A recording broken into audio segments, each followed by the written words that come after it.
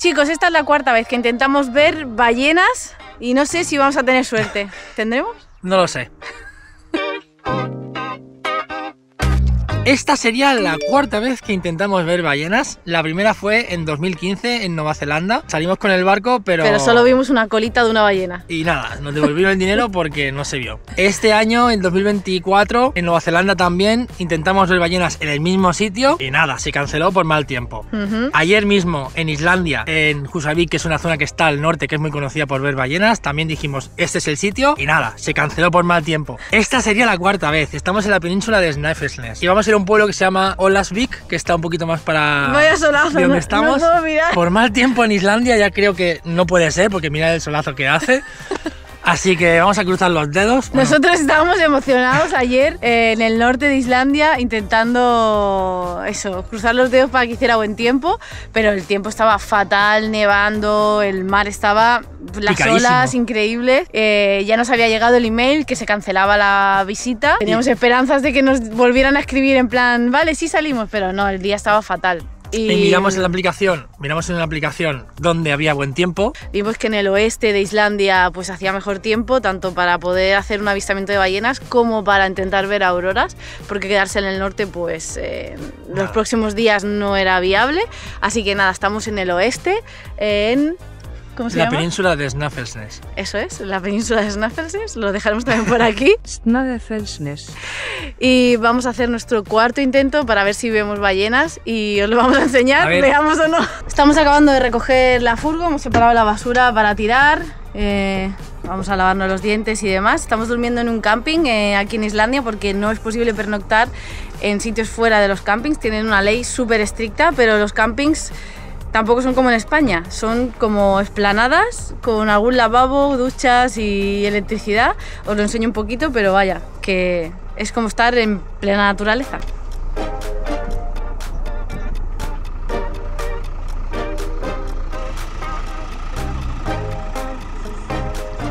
Por aquí por YouTube no sé cuántos vídeos vamos a subir, seguramente haremos uno de recopilación de todos los sitios que más nos han gustado y poder enseñaros así un poco todo el viaje, pero donde sí lo vais a tener todo es en Instagram, en nuestro perfil de Instagram, en los stories destacados y las publicaciones que hagamos y también vamos a dejar mucha información en nuestro blog viajando.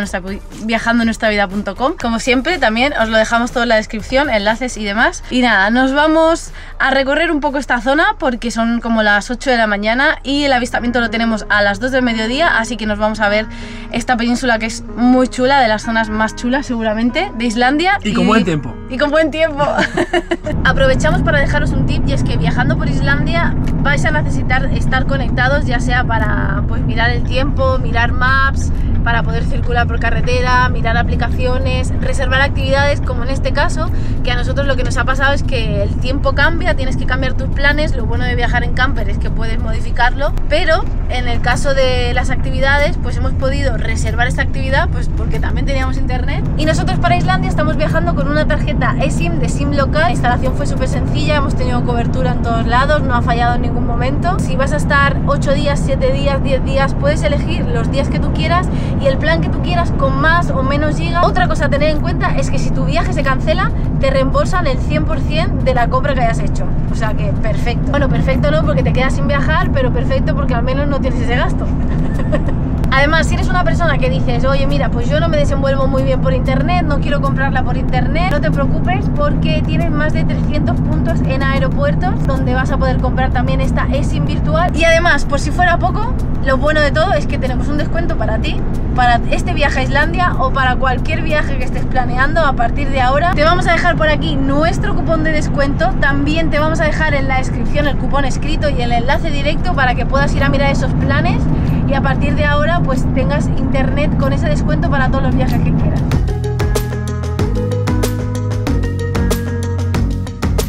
Y después de la playita que había aquí abajo, vamos a ver estas cascadas de aquí y luego iremos a hacer algunas tomas ahí enfrente, que también hay un lago. Vamos a aprovechar esta mañana con este solecito que esto es realmente lo raro aquí. que estamos teniendo un montón de suerte con el tiempo, la verdad. Cuidado no nos podemos quejar. Pero cuando hace un día malo de viento, lluvia y nieve, como los que hemos tenido estos días atrás por el norte, Flipas.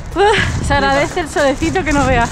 La verdad es que asusta, ¿eh? Cuando está el tiempo malo aquí. Sí, pasamos ayer por una zona que había mucha nieve en la carretera, un coche había- se había estrellado de la nieve y eso, y ostras, con la pedazo de furgo. Que no, no, no grabábamos y todo porque decía pendiente todos los, los ojos que hayan en la furgoneta.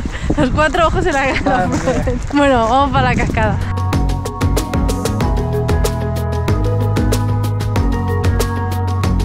Cuando llegamos a un sitio como este, por ejemplo, inspeccionamos todos los ángulos, de dónde queda mejor, de dónde es peor, la luz para aquí, la luz para allá, si te pones aquí, cómo quedas y tal, para luego poder hacer pues esos mapas que hacemos con además de toda la información de los países, pues lugares fotográficos muy chulos para que pues si visitas el país, pues además te puedas llevar unos buenos recuerdos con unas buenas fotos chulas con paisajes, sitios, calles de ciudades que a lo mejor no sabes dónde están, pues también se incluyen en el mapa, etcétera, y eso Lugares para comer. también, donde Importante. dormir, pernoctar, todo eso. Es un poco como el making of de cómo se hacen los mapas fotográficos, pues así, pasando como llevamos una hora y media por aquí ya, Sí. eh, solo en este punto, ¿eh? Lo bueno es que todo va en el móvil y lo puedes llevar en tus viajes sin necesidad de estar buscando en mil webs o en mil sitios, todo ahí en el móvil, en- con una descarga lo tienes.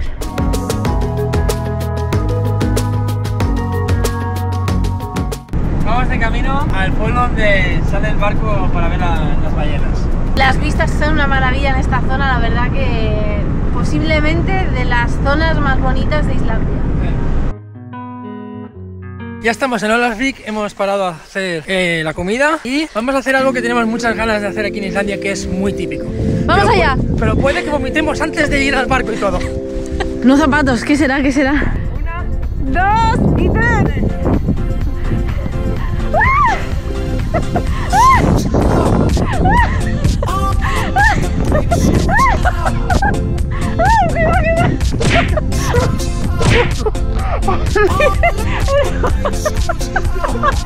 Ay, por favor. Esto después de comer creo que no va bien.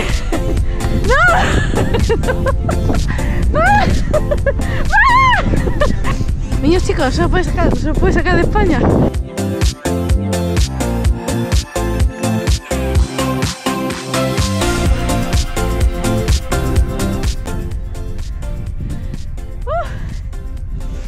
Vamos con el tiempo justito para el avistamiento de ballenas, que es a las 2 y tenemos que estar a la una y media. Son la una y cuarto, pero que hay arco iris, hay que pararse a hacer algunas tomitas.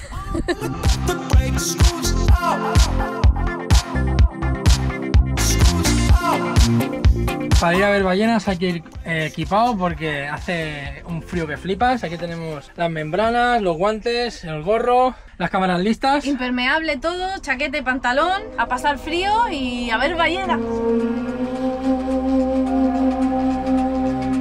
Después de tres intentos entre cancelaciones por mal tiempo y salidas para ver ballenas, pero sin ningún avistamiento, esta era la cuarta vez que nos disponíamos a ver ballenas. Justo el día de antes nos habían cancelado un avistamiento por mal tiempo, pero queríamos volver a intentarlo. Así que buscamos una empresa con prácticas responsables en los avistamientos de ballenas y sin mucho hype para no llevarnos otro chasco, nos subimos al barco. Hemos llegado a la zona donde se suelen ver ballenas y estamos parados porque han visto mientras llegábamos eh, una de las ballenas y estamos parados si a salir y a ver si entre todos la encontramos. A ver, está por allí, está por ahí, con la cámara.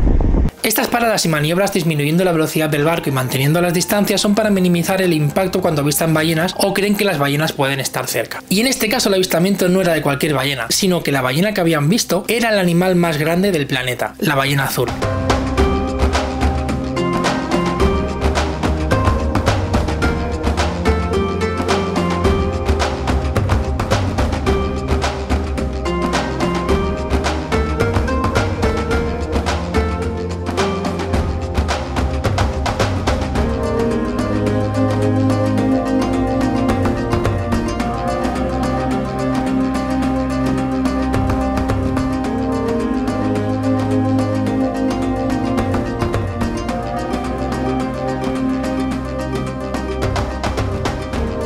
Que te hagas una idea del tamaño de la ballena azul, aquí tienes a este buzo y este sería el tamaño a escala de la ballena azul. Este animal puede llegar hasta 30 metros de largo, lo que sería el tamaño de tres autobuses uno detrás del otro.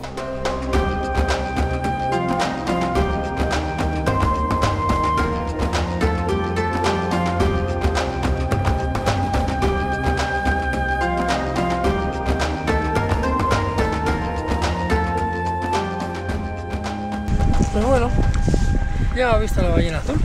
¿eh? El animal más grande del planeta. Y encima el vídeo con striptease. Pero el día no se acaba aquí porque esta noche vamos a la caza De auroras. y lo vamos a enseñar también en el vídeo. Venga, va. Venga. Te regalo.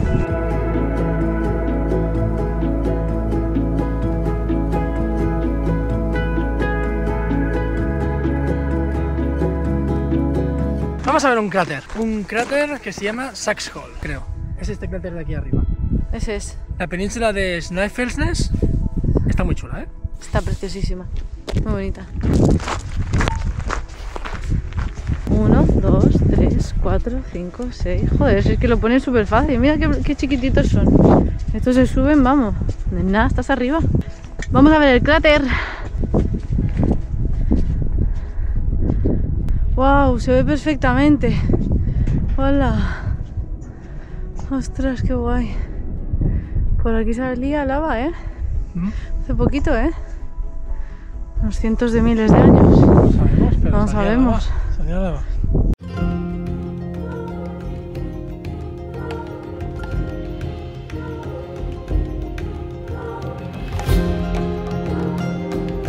Bueno, ha empezado el espectáculo.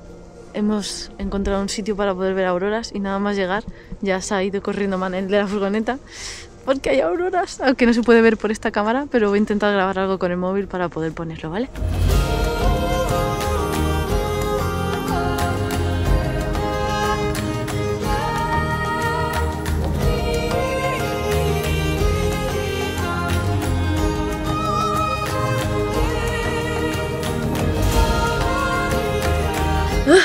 Quedas helado fuera viendo las auroras. Hemos estado como, son como las 12 de la noche, todavía no hemos cenado porque al llegar, pues eso, hemos estado viendo auroras. Es una pasada, de verdad que es una maravilla. Hay algunas que se ven como muy flojitas y con, luego con el móvil o con la cámara se ven como más fuertes, pero hay otras que a simple vista se ven verdes, lilas, es que es una pasada, es una pasada de verdad. Bueno, tengo por aquí la cena, un poquito de arroz con caldo, ahí se está calentando. Manel se está acabando de hacer algunas fotos porque todavía hay auroras, mientras yo caliento la comida y ahora cenaremos algo y si hay auroras volveremos a salir. Estoy agotada en el día de hoy. Bueno, ayer no pudimos despedir el vídeo porque nos fuimos a dormir como a las 3 de la mañana. Se nos hizo las tantas viendo aurora, estábamos agotados, pero hoy ya hacemos el cierre del vídeo. Primero con las impresiones de haber visto ballenas. Ver ballenas en libertad siempre, siempre, siempre, bajo el punto de vista, merece la pena. O sea, cruzarte con el animal más grande del planeta, que hacía tiempo que no se veía aquí por la ballena azul, eh, bueno, es que no tiene precio, o sea, Es muy guay. es muy guapo. Es muy guay. Por lo visto, desde 2019 no veían a la ballena azul en estas aguas, así que estaban como toda la crew del barco estaba muy contento de que hay- hayamos podido tener esa experiencia. Sí que es verdad que no se ve entera fuera del agua saltando ni nada así. Yo creo que son pocos las personas que tienen esa suerte, pero es impresionante ver el tamaño. Las ballenas azules se ven de esta manera, no saltan. Hay ballenas que se ven pues el lomito por arriba, otras sacan el morro, otras saltan, otras se ven la aleta y esta se ve así. Si queréis venir a ver ballenas, tip, en el norte de Islandia también podéis ver avistamientos, suelen ser más caros, por eso en esta zona del oeste es una buena opción quizá porque es algo más económico. A nosotros nos costó 80 euros por persona y la empresa con la que lo hicimos lo dejamos por aquí, aunque no es colaboración ni nada, pero la queremos recomendar porque es una empresa responsable, la cual nos estuvo explicando que eh, no se acercan mucho a la ballena y además cuando ven a la ballena no están mucho tiempo donde está la ballena. Es decir, ok, la ballena además va súper rápido. ¿eh? Comparan. Salen y eh, la próxima vez que vuelva a salir a respirar está súper lejos. Entonces mantienen muchísimo la distancia. Importante si vas a hacer alguna actividad donde sea avistamiento de animales que sean en libertad, por supuesto, y que la empresa con la que lo vayas a hacer sea responsable, mantenga pues eso, Distancias, las distancias. tenga una ética con los animales porque hay, hay empresas que no guardan estas distancias y no salvan esta, este respeto que, que, claro, el animal sale a respirar y si está encima agobiado, pues es- pueden cambiar hasta sus rutas. Y nada, dejaremos la información de manera amplia, como siempre, en el blog.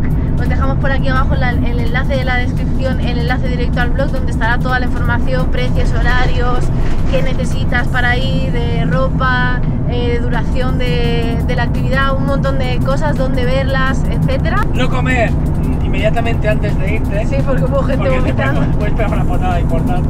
Y otra cosa que quería recalcar es que cuando estábamos en el barco, la guía que estaba pues, eh, explicándonos cosas, curiosidades sobre las ballenas y demás, nos dijo algo para reflexionar. En nuestro caso, no, porque no comemos ni carne ni pescado, pero sí que al resto de gente fue como: si vienes a un sitio así, donde quieres ver animales en libertad, piensa un poco si luego.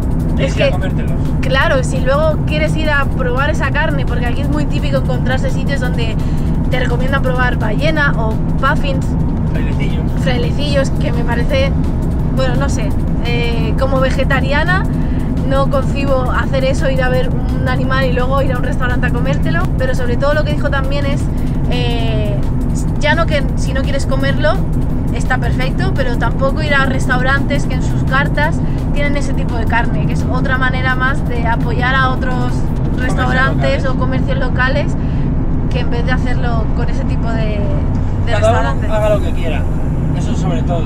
Pero ahí está eh, esa reflexión. Exacto. Y nada chicos, hasta aquí el vídeo de hoy, esperamos que os haya gustado. Eh, cualquier duda que tengáis, como siempre, sobre esta actividad, sobre Islandia, sobre la furgo, sobre lo que queráis, nos la podéis dejar en comentarios. Y aquí despedimos el vídeo de hoy, que vamos camino al aeropuerto. Hasta el próximo vídeo, chicos. Adiós.